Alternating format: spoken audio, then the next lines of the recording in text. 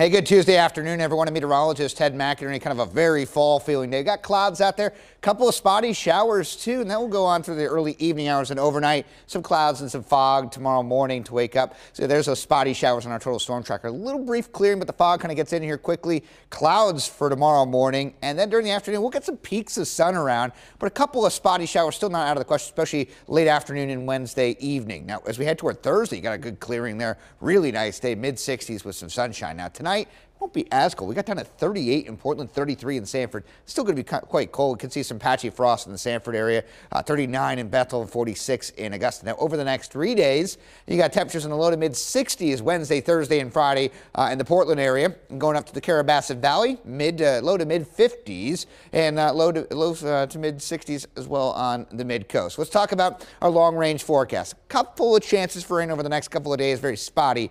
But let's look at Saturday. Saturday's trending dry. There is a storm system brewing over the weekend. It looks like it'll be late weekend, Sunday, Sunday night, Monday.